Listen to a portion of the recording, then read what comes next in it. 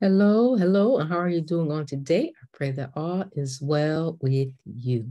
This is Coach Ivy coming to you on today, continuing uh, out of the workbook about becoming a warrior. I pray that you are enjoying these lessons and uh, you're doing the work, uh, digging in those scriptures, uh, seeking the Lord for answers and writing in your journal or notebook so you could just see things, you know, just put before you as you take this personal inventory of your life. So today, uh, the name of the lesson is Dealing with Frustration. Have you ever been there? I'm sure you have. We all have been frustrated at one time or another in our lives, you know, uh, with family members, a spouse, a child, uh, a job. You know, frustration is a part of life. But how do you deal with your frustration? Do you take it to the Lord? Or do you blurt out, say things, and then later you wish you hadn't said it? You know, that's why we are to be what? Slow to speak, right? And quick to hear, listening to what the Lord would say so that we don't, uh, you know, act out of our emotions uh, this lesson, this, this workbook, they have really been about dealing with our emotions, you know, uh, looking at ourselves internally and reflecting on things, things that we may have done, been through, experienced. But how do you deal with your frustrations on today? Let's see. Um, so, in this chapter, we are going to tackle the deep rooted beliefs and how they can cause you to think differently about yourself. Okay, so for example, uh, the author is saying that I am lovable, I'm worthless, I'm not intelligent, I can't do anything right.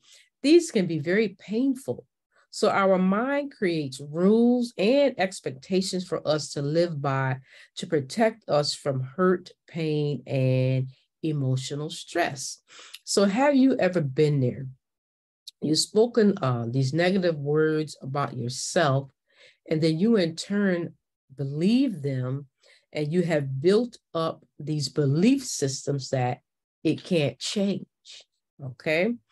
We must realize that God is the only one that can get rid of the darkness. All right. So God is the only one that can get rid of those negative, deep rooted thoughts, the hatred, the darkness that you have about yourself. It's going to take God's word to uh, shed light on those negative beliefs.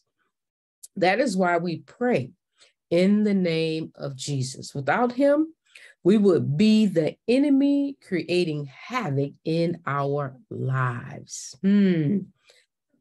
Let's stop right there because the scripture comes to mind that death and life are in the power of the tongue, and they that love it shall eat the fruit of it or thereof. All right. So, what negative words have you been speaking over your life? You know, you've been helping the enemy. You've been creating an atmosphere for the enemy to live in, to reside in, to wreak havoc in your life. You have partnered with the enemy with your own words. All right. I'm unlovable. Nothing's going to change. I'm worthless. I'm not intelligent enough. I can't do anything right. And the enemy is sitting there like, he's loving it. He's loving it. Oh, no. We have got to change our words about ourselves. We've got to uproot those negative belief systems that we have about ourselves. And it's going to take God's word to shed light on those thoughts. You can walk in a room and say, Let there be light.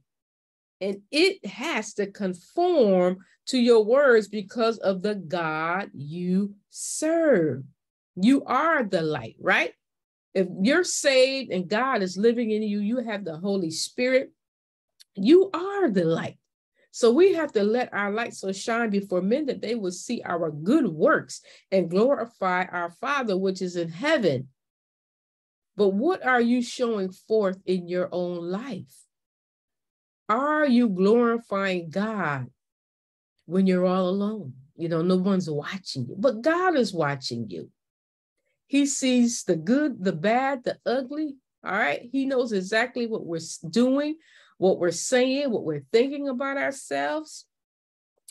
No longer partner with the enemy, no matter what it looks like, what you feel like.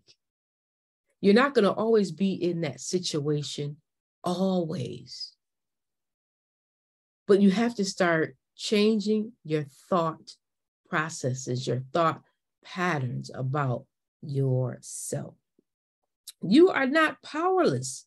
You are surrendering things to the enemy, things that do not belong to him. You're just giving your power away, giving it away to the enemy, feeling hopeless about the situation. The enemy can't take anything from you, but you can give it away. So as of today, make it a point. I am no longer allowing the enemy access to my life. I am no longer allowing the enemy access to my thought pattern. I am no longer agreeing with the enemy. No longer, no matter what it looks like. We know that God is in control of all. We may not understand why God allowed things to happen in our lives, but as time goes by, God will reveal why certain things happen the way that they did in our life. When you read Genesis, you see God speaking things into existence. You don't see him trying to control the atmosphere with fear.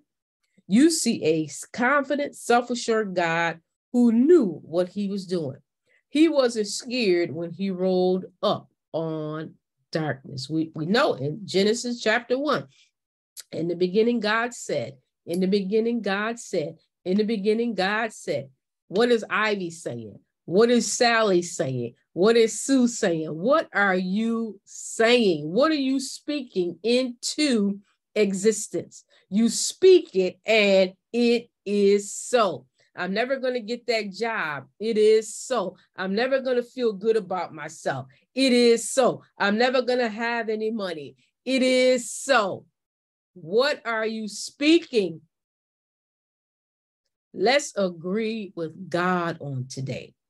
Speak God's word. Now, we've already had the lesson about casting down those imaginations and anything everything that exalts itself against the word of God. Genesis 1 1 through 5. In the beginning, God created the heavens and the earth. The earth was formless and empty, and darkness covered the deep waters. And the Spirit of God was hovering over the surface of the waters. Then God said, Let there be light. And there was light. And God saw that the light was good. Then he separated the light from the darkness. God called the light day and the darkness night. And evening passed and morning came, marking the first day. What are you creating? You don't like what you see in your life? It's time for you to recreate your life, recreate what you want to see in your life. Do you want to be healed? Do you want to be healed in your emotions?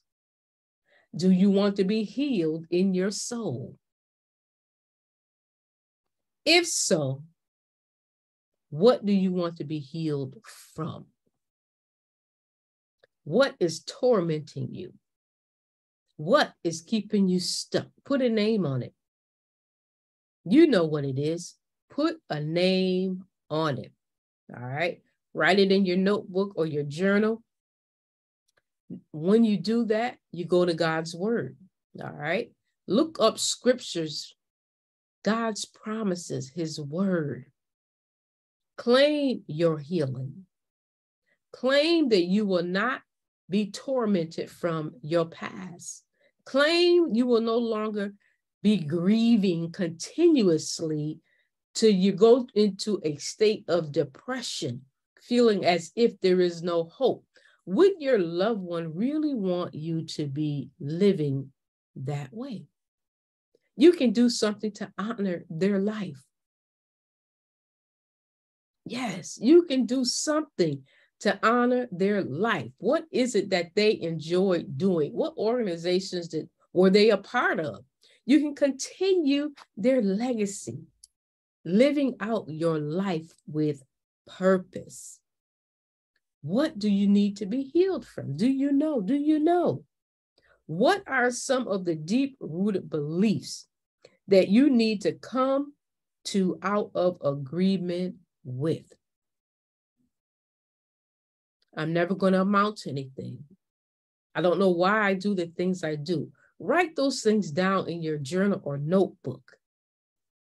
Where did those thoughts begin? How did they form in your mind? What parent, aunt, uncle, grandparent, brother, or sister spoke those negative thoughts about you? What classmate spoke those negative thoughts about you? And you believe them as truth. I mean, I've shared many times how I didn't, you know, like my name growing up as a little girl, Ivy. You know, I was bullied. The children were terrible. You know, they called me poison ivy, black ivy, ivory soap. So every time someone spoke my name, I hated my name. You know, but I love my name today. I am Ivy. All right. When you think about the plant, it's a beautiful greenery that people use uh, for decorations. And then if you go and look up what your name means, my name means that I am a warrior. You know, all these years, I hated my name. So I hated myself. But I had to dig out those negative mindsets and find out who I am in God, why God created me. You know, what is my purpose? Most of all, is to glorify Him to live a purposeful life, glorifying God and helping others get to that same place in their life. What are the things that if you don't complete them, it leaves you feeling meaningless and worthless? Is there something that you've been meaning to do and you haven't, and you're like frustrated, you feel disappointed to the point where you feel that life is meaningless or you are worthless, mm, that comes from the enemy. There is no condemnation in Christ. All right, so you didn't complete it. What's stopping you? Get back at it. Get back at it. You don't have to stop.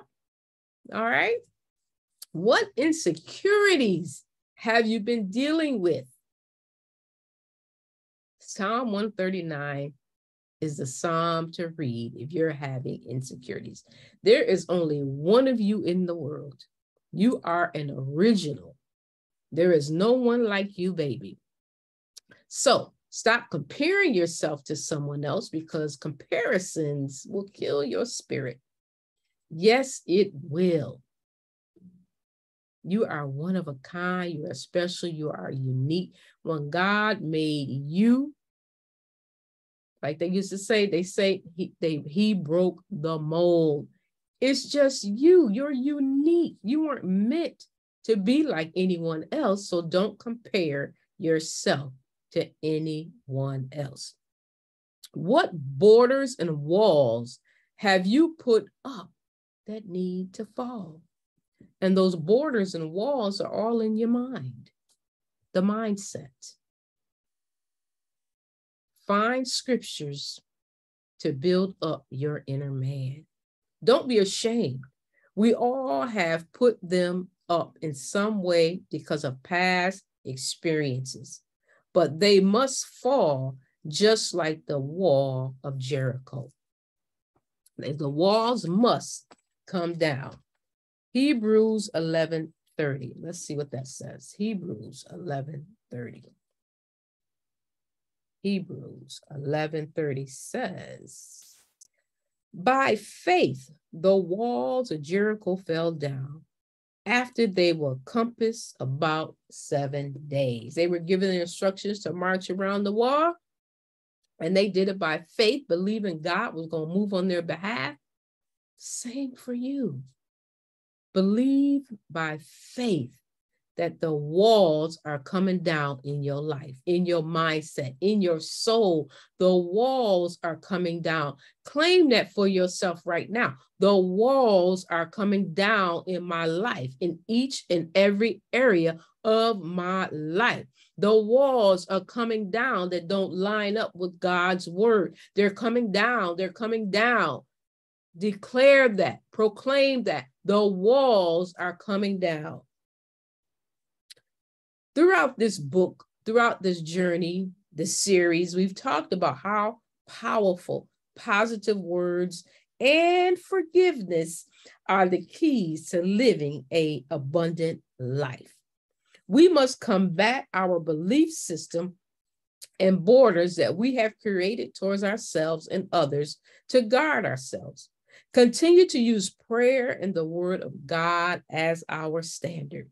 But don't forget to put on some praise and worship music and set the atmosphere.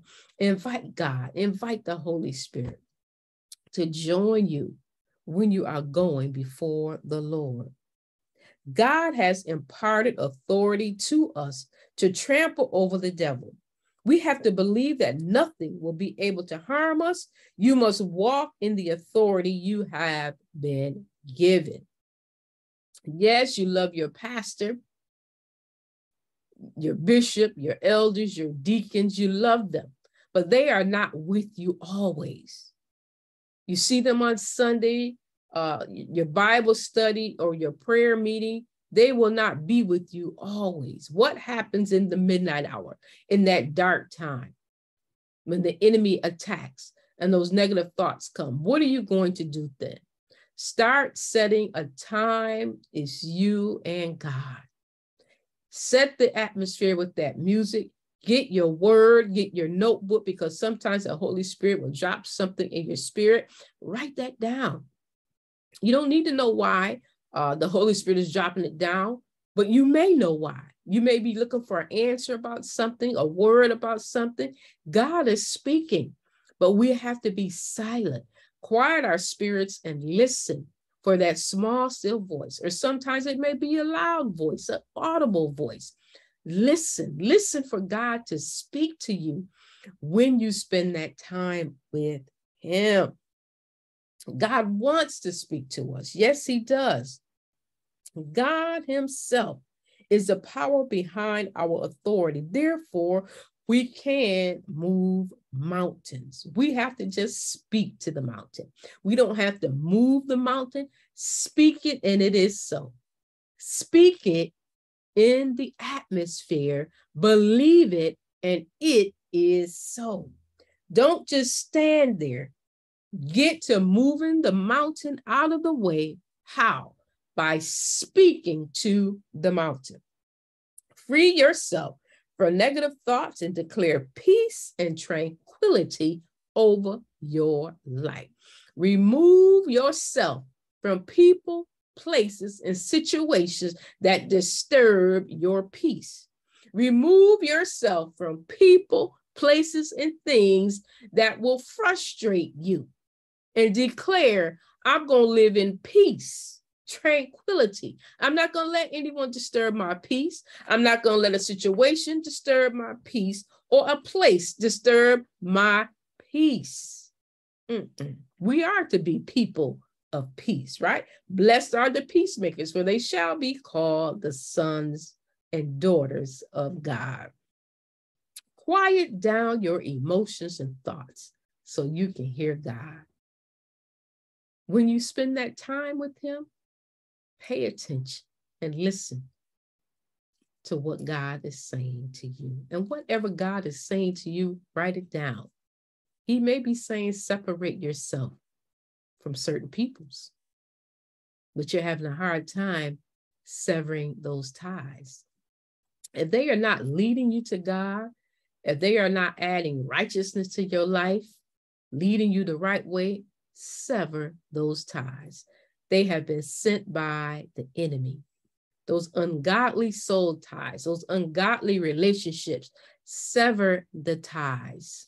God has so much more in store for you. But sometimes we feel like, you know, this is it. I can't give this up. if it goes against God's word, sever those ties so God can do a work in your life. Aren't you ready for God to move in your life? He is so ready, willing, and able to do it, but He's waiting on you to do the right thing. You know what it is. You don't need me to tell you, you know what it is. Tranquility is necessary to relax and experience God on a whole new level. Do some house cleaning. Clean them out, clean them out, clean them out. Mm-mm. Peace and tranquility is where God is going to show up.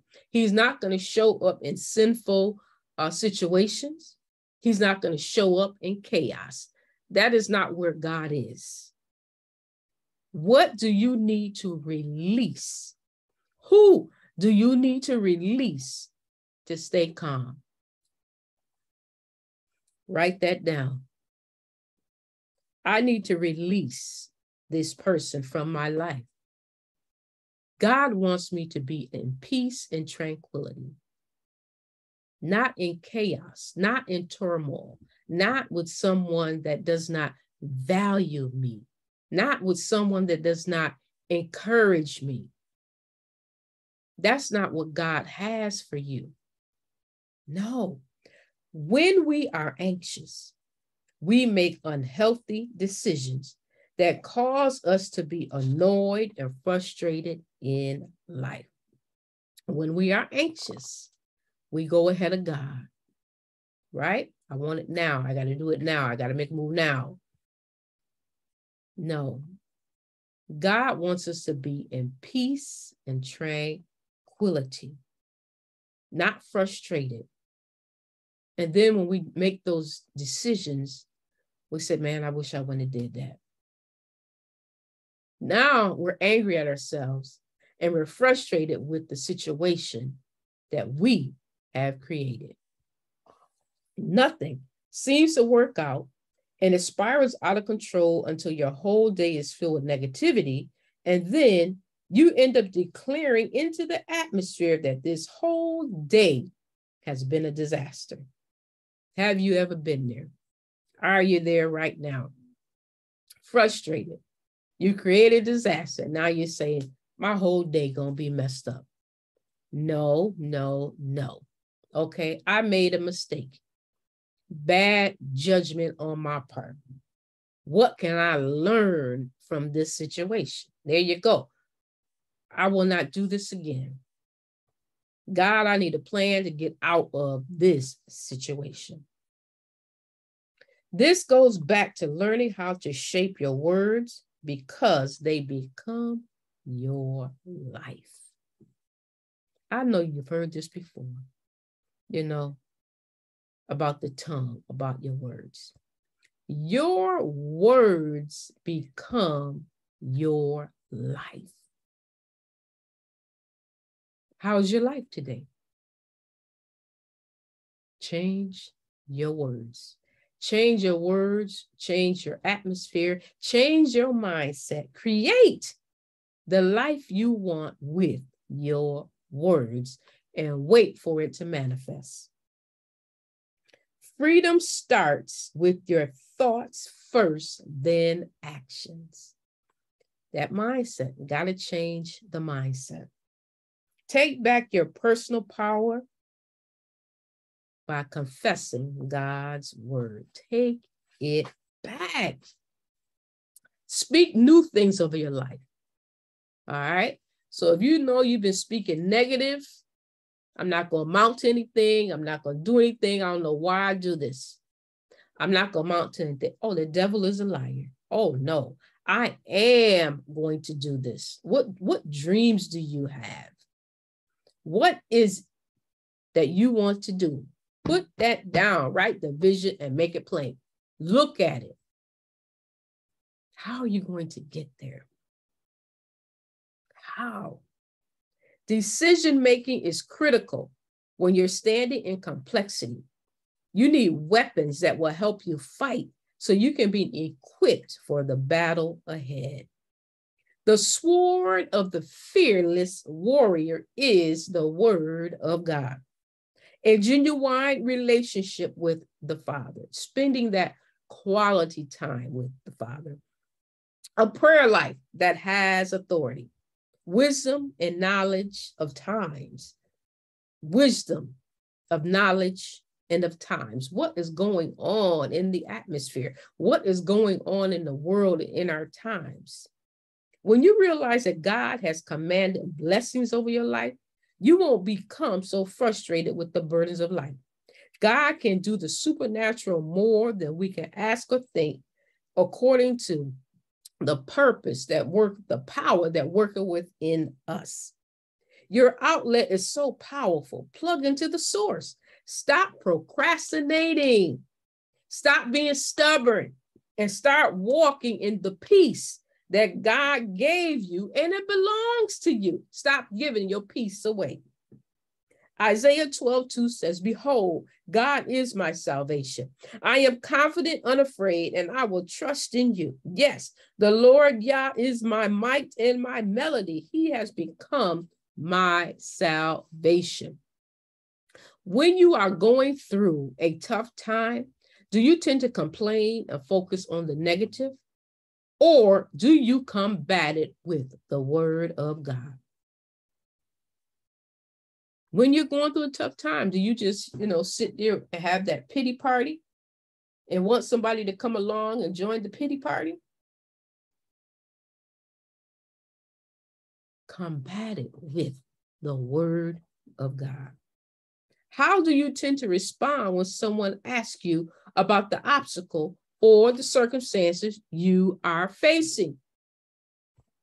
Do you feed into the situation or do you speak the word of God?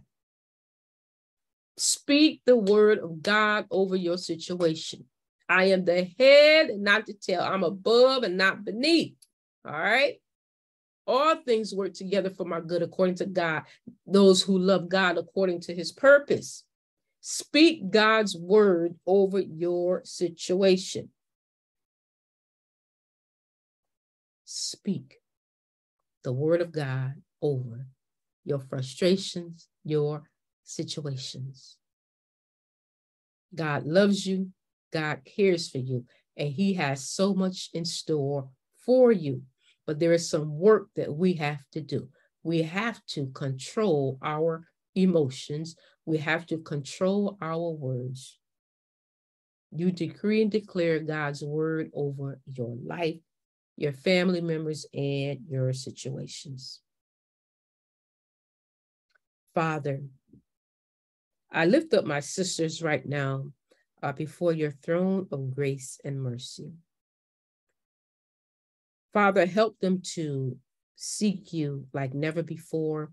Help them to calm their emotions, oh God. Help them to speak your words over their situations, no matter what it looks like. We demolish the soul ties, cast down all strongholds. We crush and destroy every exalted and proud thing that comes against the knowledge of God in their lives. No longer will they agree with the enemy. As of today, Father, they will agree with you. It will not build a case against us, it will not prevail. We pray that every yoke is destroyed in the soul, the spirit, and the body in Jesus' name. I declare healing over their minds and their hearts, Father, their soul. We refuse to be stressed and frustrated. We repent for our negative thought process now and ask that you transform our hearts and minds, Father. Create in us, oh God, a new heart, a heart after you, Father, a heart to please you, Father, and that we are, are able to stand guard against the enemy. We are able to stand guard against our mouths, Father. Father, we will look to see you in each and every situation, Father, that we go through, Father. And we thank you, God, for what you are doing in our lives right now, Father. We thank you for your word, Father, for it is our life, our health, and our strength. In Jesus' name, we pray. Amen.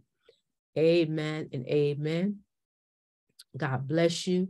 Have a wonderful day. Bye bye.